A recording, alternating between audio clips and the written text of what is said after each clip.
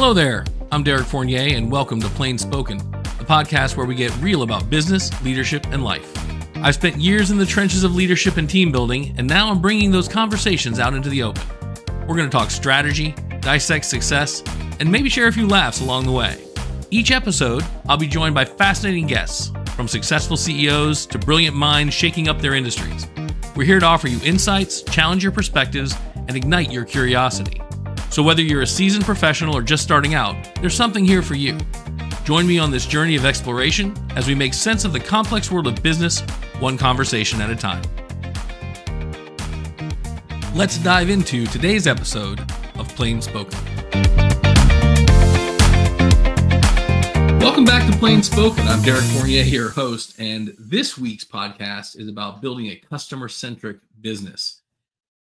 I will warn you, while I've tried to use slides in most of these podcasts that I've been doing on the bi weekly uh, cadence to keep myself sort of on topic because I have a tendency to drift and use 10,000 words when 100 would suffice.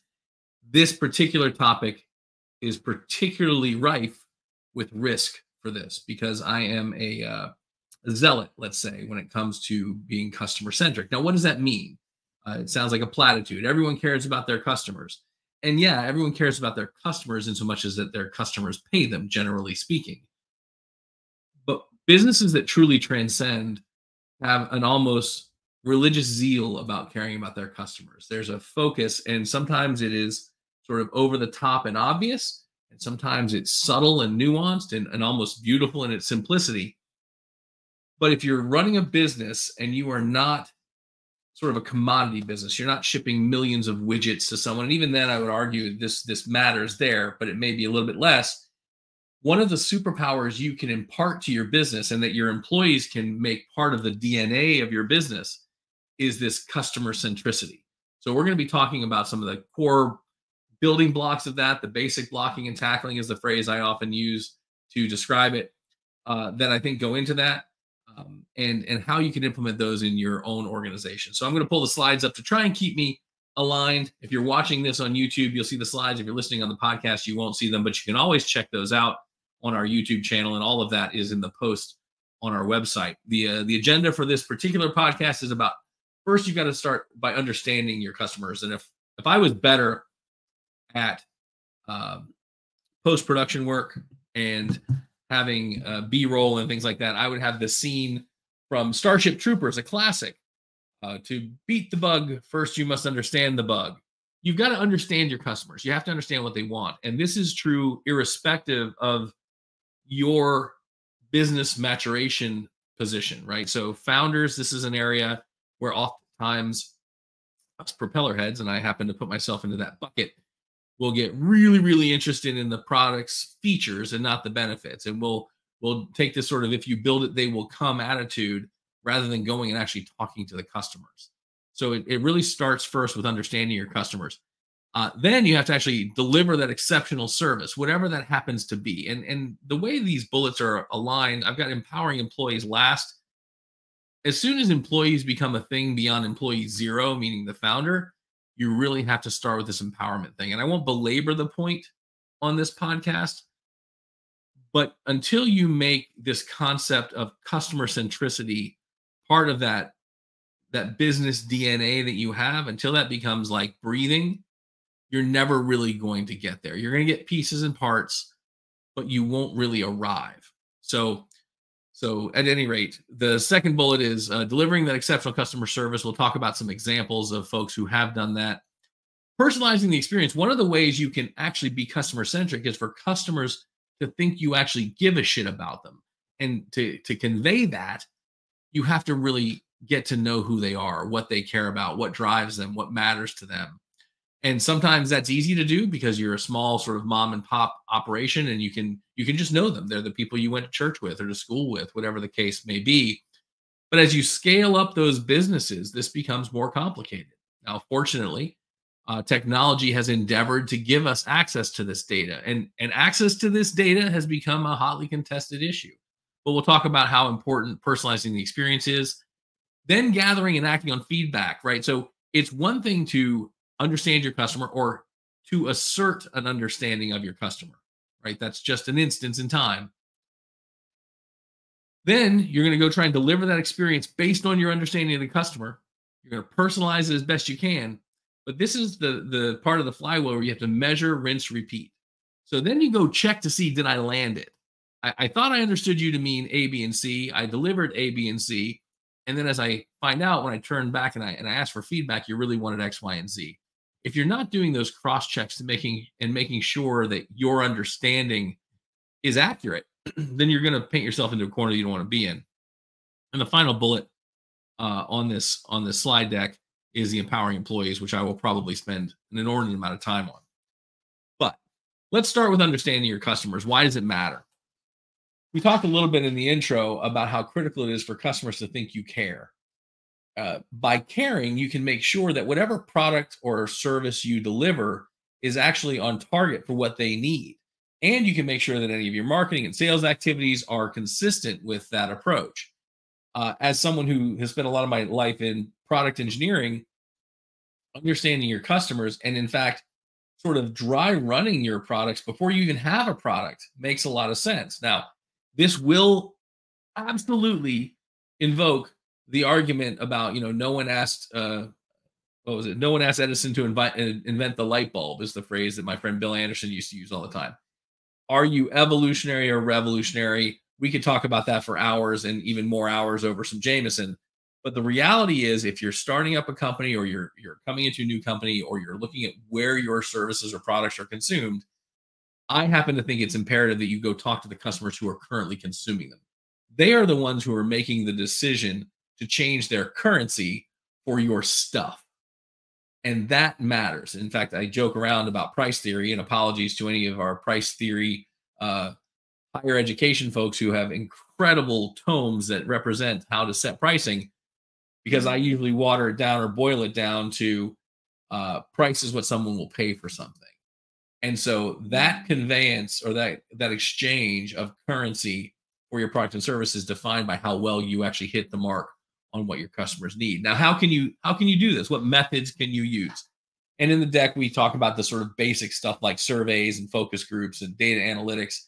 Uh, I was talking with a, a client today, and he's he's a young founder. He's got a new product he's trying to bring to market, uh, and and when you have that luxury, I happen to think talking to them matters. Now, all of those are forms of communication, surveys and, and focus groups and, and data analytics but that true dialogue being able to get in there and have human conversation and understand what it is that's driving your customers is so valuable. If you get a chance to do it do it. When i was at microsoft and we completely screwed the pooch on sms 2.0 and then completely screwed the pooch on 2.0 sp1 we went out and talked to customers. We went and experienced felt were sworn at about their pain and slowly started the climb out of that abyss to SP2, which has continued on to make that product a, a multi billion dollar product.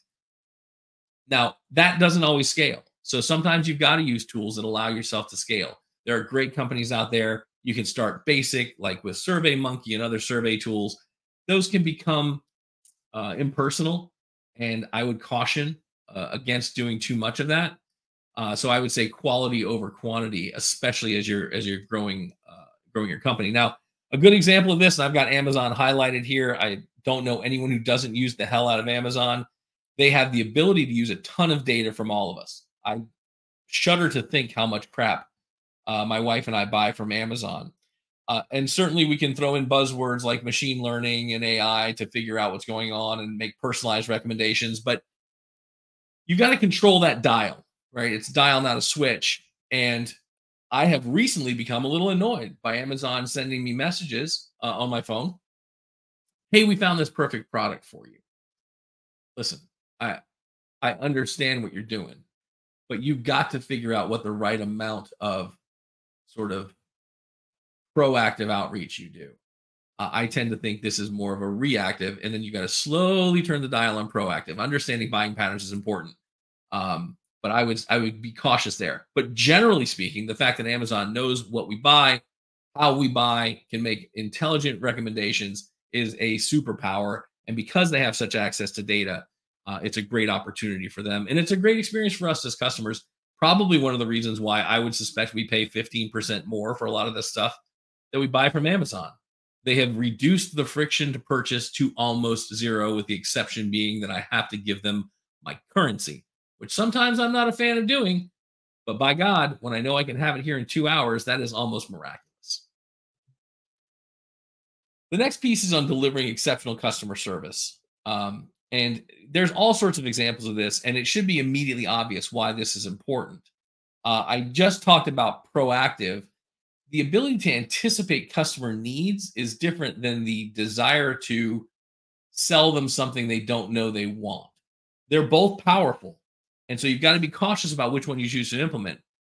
But like I said, I, I tend to, to start with looking backwards and making sure that they're taken care of, right? So that goes to quick response times. If there is a problem, how do you respond? Uh, how do you resolve the issue? And we've all had these experiences. I had a, what the hell are they, little frother for coffee and creamer. It wasn't expensive. It was like $10, $11, something like that off of Amazon, somewhat coincidentally. Uh, and it just stopped working for reasons uh, I don't understand. Maybe because it's shitty and cheap immediately went in there to the company website because it was outside of the 90 days or whatever Amazon would take care of this. Put in a help desk ticket. They immediately wrote back, sent me a new one, no questions asked. It was great. I bought four more of them. They just seemed to break after a year. And at some point, I learned my lesson. But my experience with the company was positive because they handled it so well. Uh, it used to be the case, and I know we'll talk about this a little bit more uh, when we talk about returns. Um, uh, in fact, we talk about it here with Nordstrom. Costco used to be that way. It used to be if you bought something at Costco, if you had any issue, you just went back to Costco. You didn't have to worry about it. You didn't have to worry about who had the warranty. Do I have to go to the manufacturer? Do I have to, you know, deal with a website? You had one throat to choke, one person to speak to, and that was a really, really powerful way for work to get done. Uh, by establishing that, by establishing that exceptional customer service, you create a relationship with your customer. Not only are they thankful that you do it, but they're more likely to become a repeat customer if that's something that can be done. I, I mentioned Nordstrom. Uh, I don't shop at Nordstrom often, but they are regaled or we are regaled with stories of how Nordstrom takes care of their their clients, uh, and and that seems to be true. Apple, who I am uh, reticent to say anything good about because of my Microsoft lineage, but I have to acknowledge it because we use Apple devices in development the Apple Store concept is incredibly well executed, or it has been historically. I haven't been in there recently, and as I understand it, that sort of dropped off a little bit. But the ability to go in there and have someone who's truly knowledgeable help you with what is a non-trivial purchase. You're not just buying a $200 object; these are thousand dollar objects. Putting that extra layer of support allowed them to expand their demographics and expand their market, and really did great things for Apple. Microsoft tried to jump in and do it, and we did just an absolute crap job. Personalizing the experience, you guys know if you've listened to this podcast, is something that I really, really can get excited about. And personalization takes advantage of knowledge of your customer to really create a bespoke experience. Uh, what that does is it drives loyalty uh, and, it, and it increases sales because as you learn more about the customer, you can adjust your products and services to make sure that you're offering them the things that they want more of and deprecating the things that they don't want. Now, this is an area where technology can be super, super powerful. Uh, CRM is brought into the discussion from time to time, and yes, CRM is important. I tend to to speak uh, down to CRM, which is probably not fair. Uh, I just I I haven't in my experience, and I'd love to hear your experience if you've had different, better uh, sexier experience with CRM, people end up just storing a bunch of data and it becomes an untended garden. That said, if you're using CRM properly and you're storing information, or if you have systems that integrate with CRM so that the information you learn about your customer is retained there and can be leveraged, then that's super powerful. Again, artificial intelligence and real time data analytics can come in and show trends across multiple customers. And if you're a big company, those trends can be like a, a meta analysis that allow you to do road mapping and really powerful things around your product stack.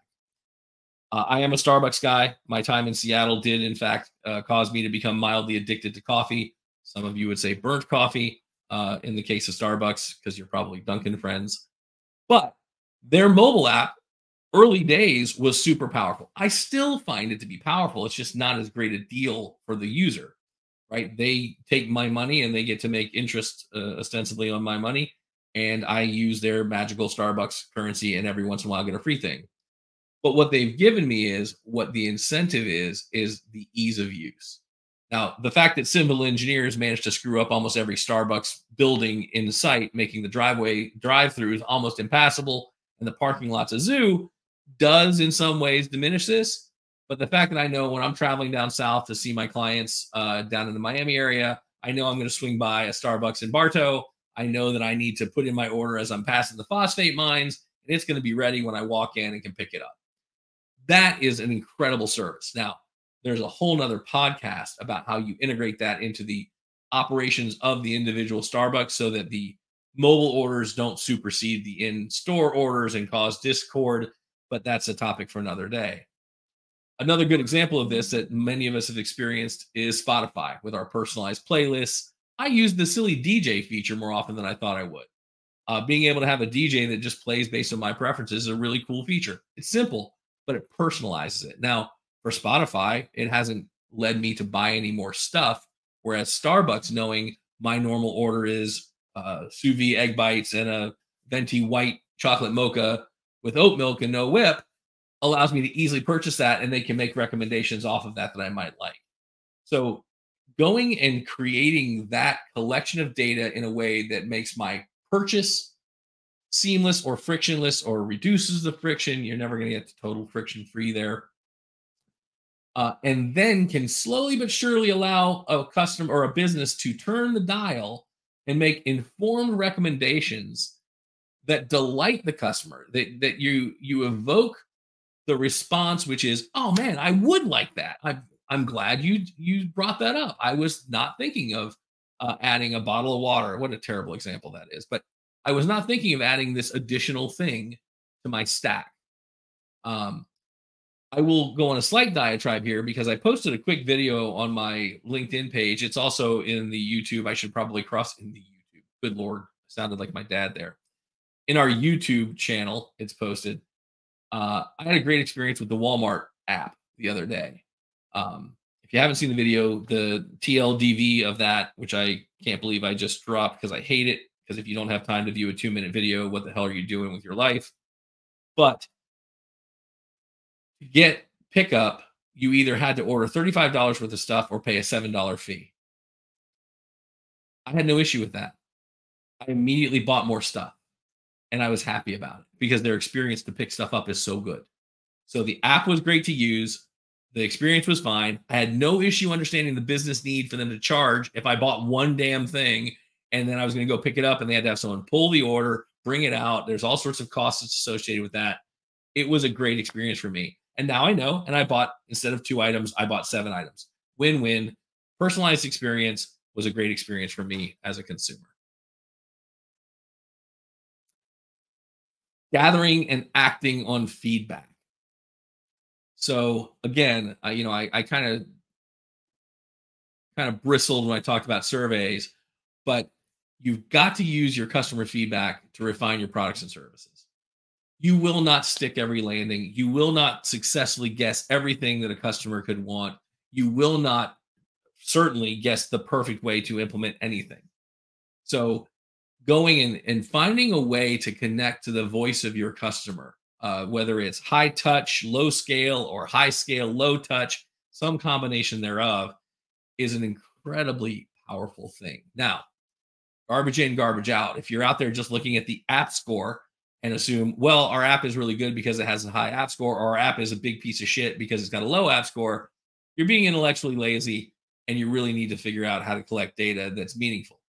But if you do so with good faith and go and collect this data, your business will thrive. It does build trust because you are demonstrating the value of what your customers are saying and taking that input to actually make a difference.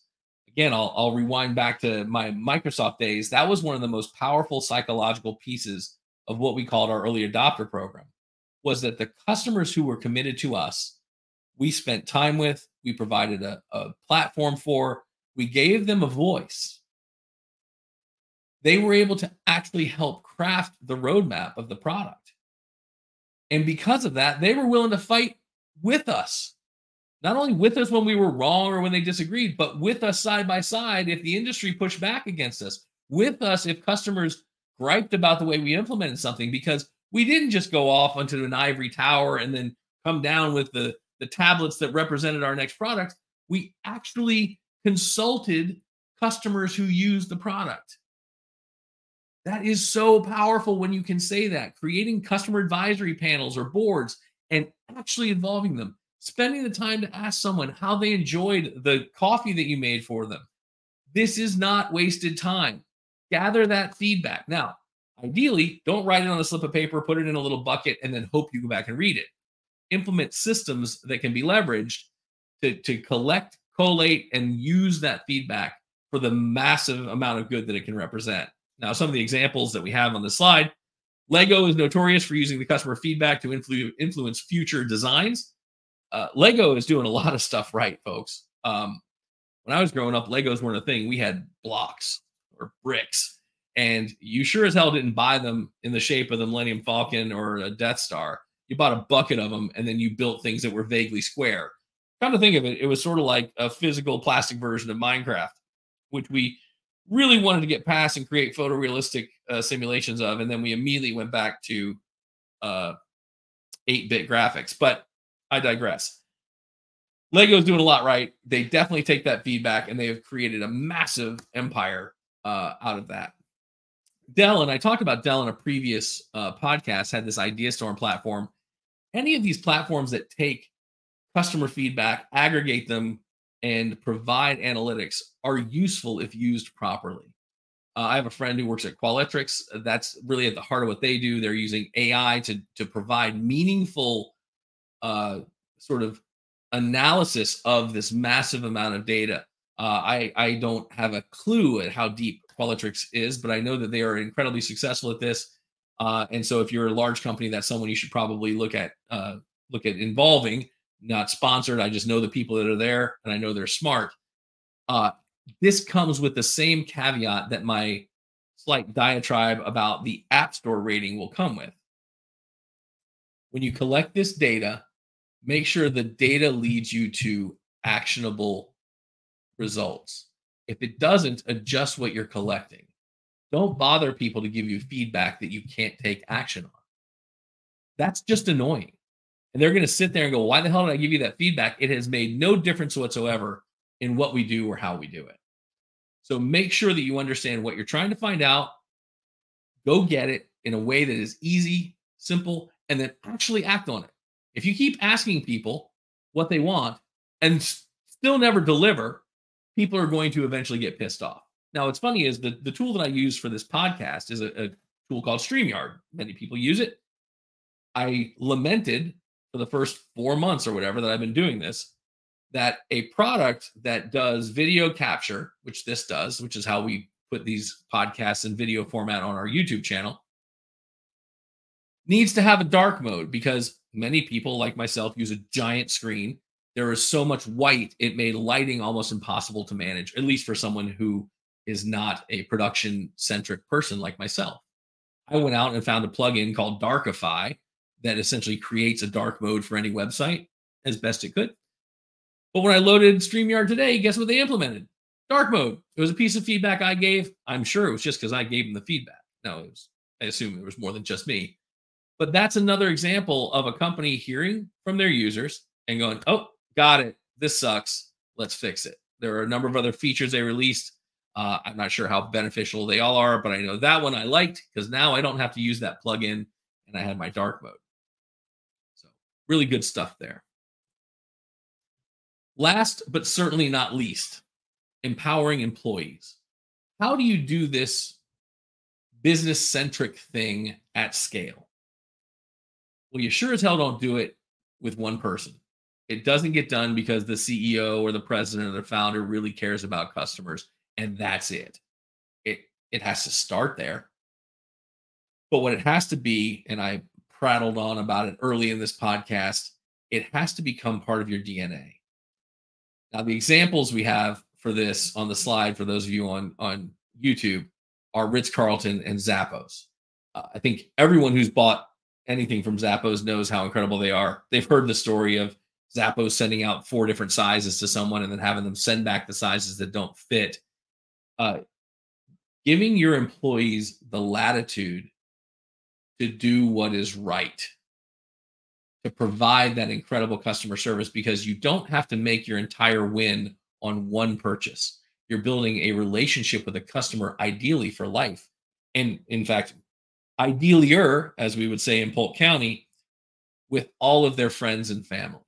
You make that one experience so great that even if you, because of the time you spend or the extra product you send that has to be sent back, that drives your cost of goods up so that your margin goes down on that transaction, it's so good that you create 10 other transactions that wouldn't have existed.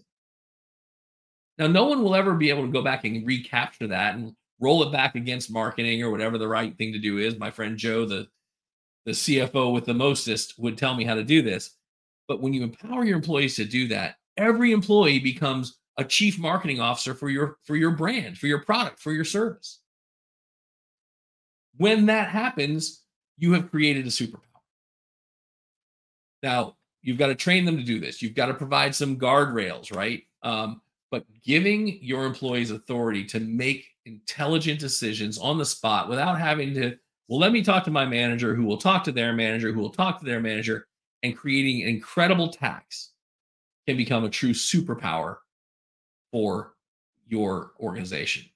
Now, the reason I mentioned at the beginning that this would normally be further up is because this is the replication of the spirit of your company. If you're going to build a business, a customer centric business, everyone in your organization needs to understand that that's what you're doing it has to become almost like religious zeal that you carry forth. That doesn't mean that the customer is always right.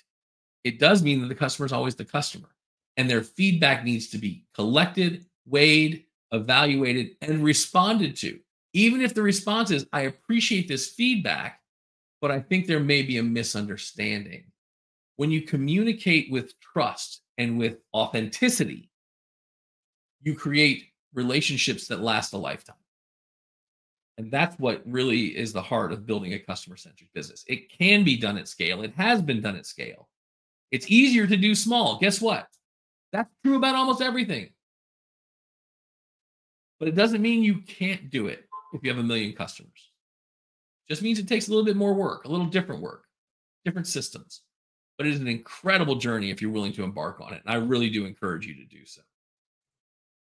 So that's that's this episode on building a customer centric business as as should be obvious by my tone this is something that i am incredibly passionate about uh, i can get excited about almost any kind of product and if you in whatever product you sell or whatever service you deliver are not excited about it to the point where you want to make sure whatever customer you sell that to is incredibly happy with it then then i would encourage you to find something else to do right? This isn't one of those platitudes of, you know, find something you love and you never work another day in your life. But if you haven't found the thing that you're so excited about that you want everyone to be able to use it or everyone who needs it to use it, and you as a founder or as a leader can't spread that to the rest of your organization, then you need to evaluate that. There are plenty of businesses out there that do commodity level stuff that aren't super exciting to me. But I have to believe from the outside looking in, the people inside those walls really, really care. And at the base of all of this customer centricity is care, compassion, and passion. So, at any rate, I hope you enjoyed this episode of Plain Spoken. I, I enjoy this topic immensely. Uh, if you did enjoy it, please let me know. Let's get some integration or some interaction, rather, with the podcast. Share it with your friends. I hope that uh, they will enjoy it as well. We'll be back in two weeks with another topic. As always, you can find our materials on plainsight.net. But until next time, I'm Derek signing off, and thanks for joining. Thanks so much for tuning into another episode of Plain Spoken. I hope today's conversation sparked some new ideas and left you with a few takeaways to ponder or implement in your own journey. If you enjoyed the show and found value in our dialogue, I'd be really grateful if you could hit the subscribe button. Sharing this podcast with your network helps us grow and continue to bring you insightful and engaging content. Don't forget, you can find us on LinkedIn and a few other social platforms. Follow us, interact with our posts, and join the plain spoken community.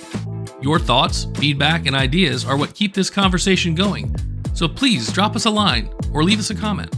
Thanks again for joining me, Derek Fournier, on Plain Spoken. Keep an eye out for our next episode, and until then, keep growing.